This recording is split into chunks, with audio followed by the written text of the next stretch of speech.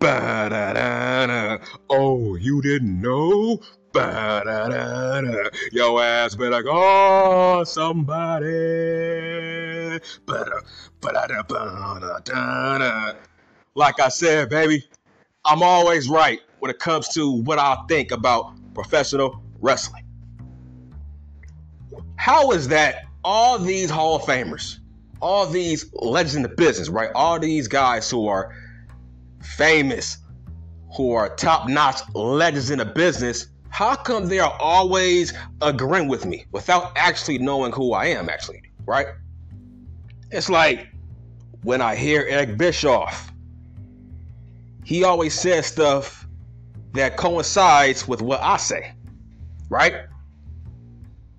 When it comes to Jim Cornette, he says stuff that I say. Vince Russo, he says stuff that I say. Now we got Road Dogg saying what I'm saying.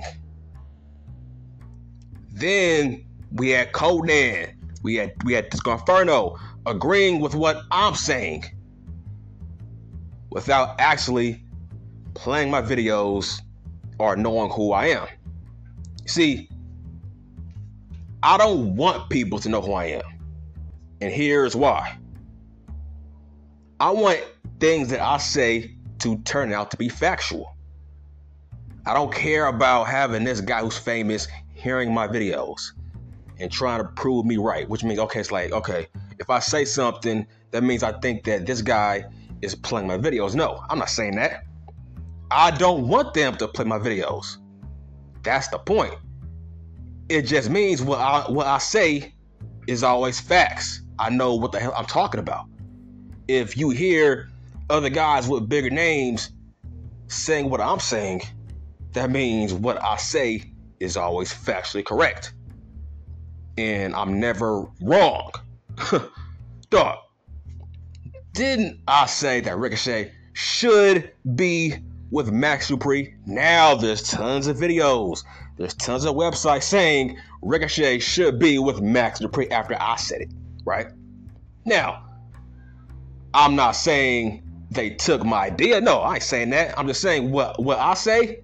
Eventually, people open up their eyes and eventually co-sign what I say without actually hearing what I had to say. That's what I mean. Dog, Road Dogg said that Wardlow is holding a Jobber Championship. That's what Jabroni means. What he really said was Jabroni title. What that means is that is a jobber title. The TNT title is a jobber title. Nobody cares about it. So basically, what he's saying is Wardlow has been booked like crap since beating MJF. You know who else said that? Cornette said that. Konnan said that. Um, uh, I think Cornette said that. Disco Inferno said it. I said it. I I uploaded the first video. I think I think it was way back when when Wardlow did not go into that battle royal. And I said, you know what, bruh? That guy is buried. Why didn't you go after the world title? Why did you go after the TNT championship? The, dog, the same championship that played a major influence on Cody Rhodes leaving in the first place. Go play his interviews. Cody Rhodes said he didn't want to be a 15 time TNT champion. He said that with his exact words for verbatim. He said that. He said he didn't want to be a 15 time TNT champion. And he didn't like how the way Sammy G was holding that TNT championship. He said once Sammy, look, he said Sammy took a picture of the title while, while he was naked. Remember, remember that photo? Then Cody "You know bro, Sammy, why did you do that, man? That's not what the TNT Championship is about." So that title, you could make the argument. That title was the that was one of the main reasons why Cody Rhodes left. That title was becoming meaningless. The fact that Sammy G was being handed multiple title opportunities at that championship how it seemed like Sammy didn't really care about that title. The fact that I think uh, Scorpio Sky he had short reigns with that title, like, huh? this dude is a two-time TNT champion, and it's like, why? Why is Scorpio Sky a two-time TNT champion within a within a three to two month span? Like I said, I said the 24/7 championship seems more prestigious than the TNT championship, and I made a video saying when Wardlow becomes the TNT champion, I said I'm not gonna care. I mean, it's going to be meaningless when he wins the TNT championship. I said nobody's gonna care. Why? Because he should have went after the world title, and he didn't. That's what I mean. I said I'm not gonna care when he wins the TNT championship. And did you see that match he had against Orange Cassidy? Now look, I like Orange Cassidy, but that match should have never happened. Once again, I feel like Wardlow's buried. I was with the main guy saying he is buried. I said he has been booked like crap ever since MJF got beaten by him. That's what I said. I said he is Lex Luger and Braun Strowman.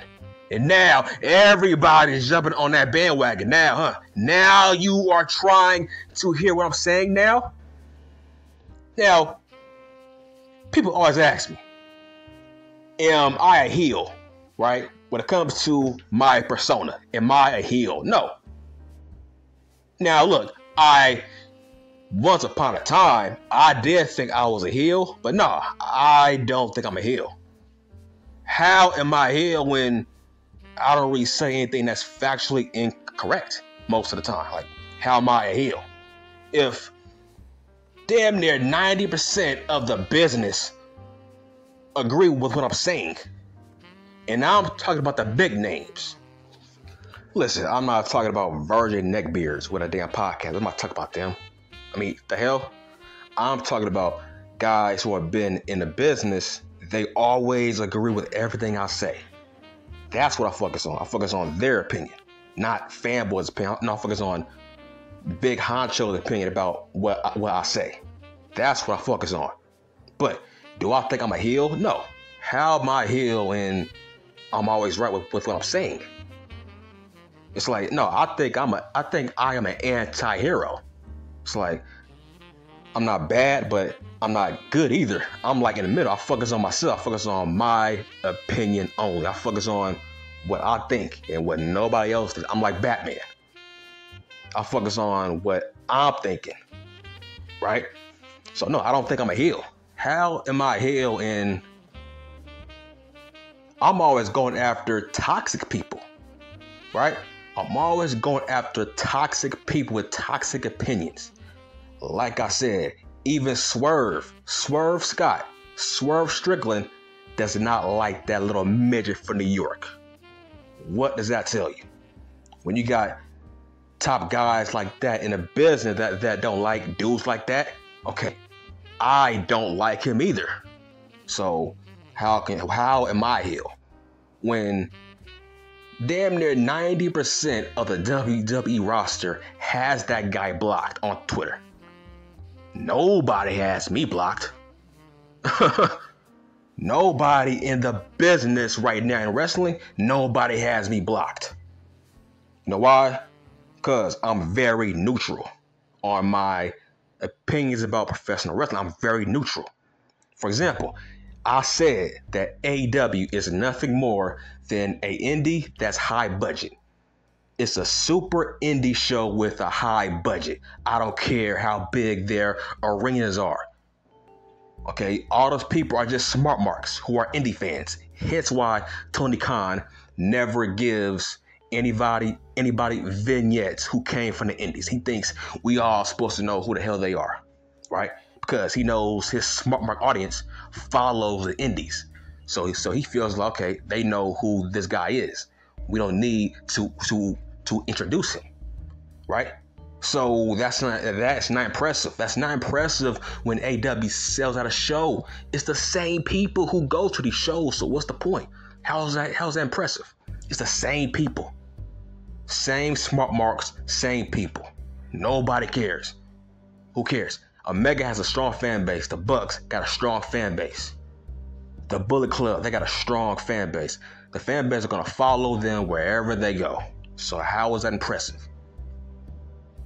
Who cares if they can sell it? Who cares if they can sell out a building? It's a building filled with smart marks, not casual. It's just smart marks. Dog, there's tons of fans out there that are smart marks. There's like millions of fans that are smart marks. That's not that's not impressive. I look, Road Dogg said that AW is a indie show on a high budget. That's what he said, and I 1000% agree with him. I've been saying that all year. I've been saying that since day one. That AW is a indie show on a high budget. It is. When you watch a indie show, it looks no different from an AEW show. When you watch the WWE, it looks vastly different from a indie show. What does that tell you? It tells you the WWE is a is a professional product and AW is an indie product on a high budget. It is. Dog, half of the roster still looks like indie guys. Am I wrong? Dog, look at Wheeler Useless. Dog, I can't believe that match that I saw tonight. It was the best friends versus Dean Ambrose and Wheeler Useless. They made Wheeler Useless look like Roman Reigns. This dude was kicking out of two pile drivers in a row. Some some pale skinny guy that has less charisma than Dean Malenko, you are booking him to be like Roman Reigns now? Like, wow, that shocked me. I thought the match was over. I thought the match was over. This dude kicked out of multiple finishing moves in that match. That pissed me off. It's like seeing him in the combat club, it feels like I'm watching Spike Dudley, even though Spike Dudley is way better than Wheeler Useless. But look, I'm just hoping they will eventually replace Wheeler Useless with Kyle O'Reilly.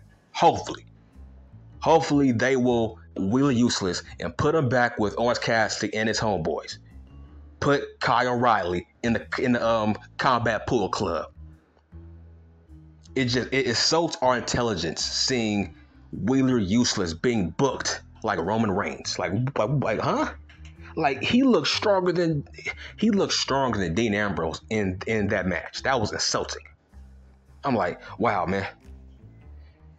We are booking Powerhouse Hobbs like a mid card guy, and when we are booking Wheeler Useless as a top guy from a visual fan perspective.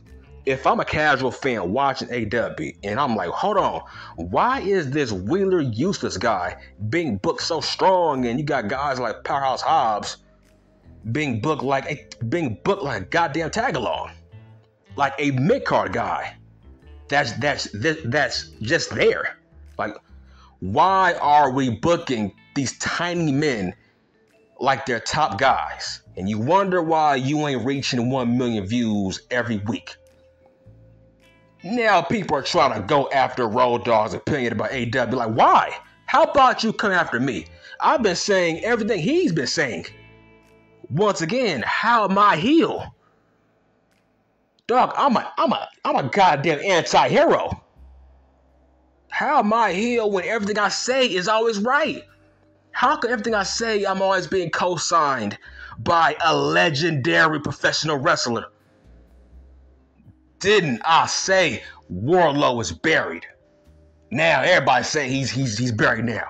Now everybody's saying Wardlow has been booked like crap. Who had the balls? Who had the guts to make multiple back-to-back videos saying Wardlow has been booked like garbage? He's been made to look like an idiot. He's Braun Strowman and Lex Luger. Wardlow's World. That's so corny. I caught I caught that out. It's like, what are we doing here? It's like, nah, bro. What what what Road Dogg said was factually correct. If tons of people like me are co-signing what he's saying is factually correct. Dog, I don't care about smart marks, neck beards, bashing Road Dogg, bashing me, bashing other people. I don't care about them. I don't care about them. I care about people with a strong damn platform. Like a Road Dogg, like a Disco Inferno. Guys with a strong platform who who are in the business. Who have book shows, trained wrestlers. Road Dogg has trained wrestlers. He has book shows. He's a legend. He's a, he's in a goddamn Hall of Fame. Like that damn freaking Whoopi Goldberg said, oh, this is why nobody wants to hire Road Dogg backstage anymore. I'm like, bro, Road Dogg doesn't want to work for anybody. Have you ever thought about that? Dog, Road Dogg doesn't want to work in AW. Dog, freaking Billy Gunn is there. Obviously, if he wanted to, Billy Gunn can get him hired, but obviously Road Dogg doesn't want to work for AW. And I don't I don't I blame him. Dog, Road Dogg, he is chill. Okay? Why? Like, dog, just because a legend bashes AEW, it does not mean they are jealous because they want a job there. Get over yourself. See, this is why people hate AEW, man. This is why people want to fail. This is why I go after this. Look, this is why I go after Whoopi Goldberg. This is why I go after that little midget from New York. Guys with a big platform lying like that. And people always say, people look, people always say my videos deserve more views, right? And here's why my videos don't really get pushed as much as they should compared to others, right? It's because I don't bash. Look, I don't bash the WWE. I don't. I don't kiss ass of AW. Right? How come everybody who bashes the WWE, their videos always get pushed on YouTube? Why is that? But the people who, who have common sense, who look on the brighter side of the WWE, their videos never get pushed. I'm one of them. It's like, dog, I'm not saying AW sucks for shock value. I wish AW was was good, but it's not. How how is it good when dog, I said the TNT championship is a joke. Nobody cares about it. Why would Wardlow pick that jobber title over the world title? So yeah, that title is a jabroni title. In wrestling terms, that means that it's, that's a jobber title. Listen, that title hasn't meant a damn thing ever since Brodie Lee died. Let's just be real. That title hasn't hasn't meant a damn thing. I'll say Miro had a good run, but ever since then, that title has been booked like a joke. Dog, I was pissed off that Miro actually got beat by Sammy G. I felt like that was a bad decision. And now, and now look, that look, that's a joke title. And now you got Road Dogg saying the same thing. I'm saying.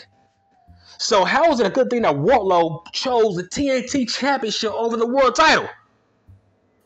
Dog, don't be disrespectful, right?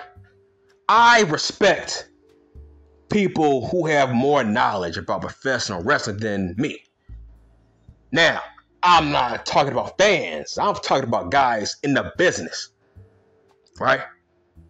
I care about what legends think about professional wrestling.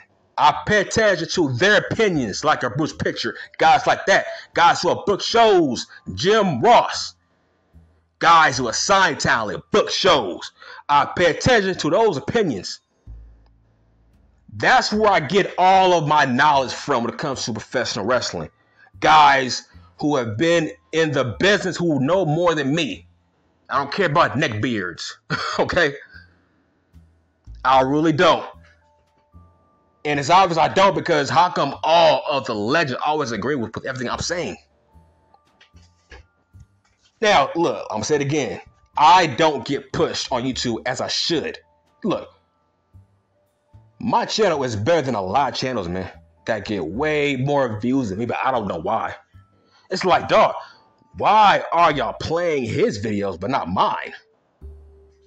Is is it because you love hearing what you want to hear? See, that's why people that's why YouTube ain't pushing my videos like they should.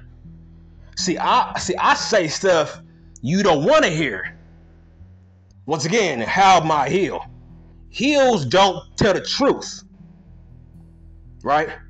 Heels tell lies and make you believe what they want you to believe. See, me, I tell you factual stuff that always comes true. Am I wrong here? No. You see, I don't get pushed like I should because people like playing videos that they want to hear in terms of you only you only want to hear videos that you want to hear where it's like if this guy says Roman Reigns sucks, you are going to click on his video and you are going to press the like button because he's saying stuff you want to hear. If if I if I say some critiques for AW, most likely you might not play my goddamn video because I'm saying stuff you don't want to hear. That's why I don't get pushed like I should. Right? It's like there's something wrong when you got half the damn roster in the WWE who has that midget from New York blocked on social media.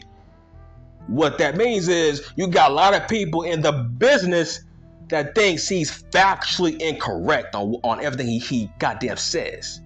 Right? But the point is, I'm on Team Road Dogg, man.